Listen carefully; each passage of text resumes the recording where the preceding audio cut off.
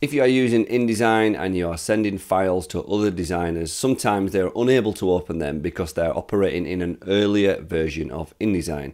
If you're experiencing this issue, this is how to solve it. So I'm just inside InDesign and we're going to save the file as a certain file type. So go to File and then go to Save As.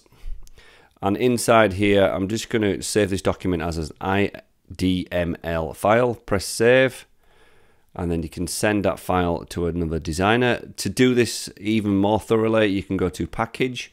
So go down to package in file and then save the package of this. So tabs folder, make sure everything's clicked, include IDML and include PDF as well.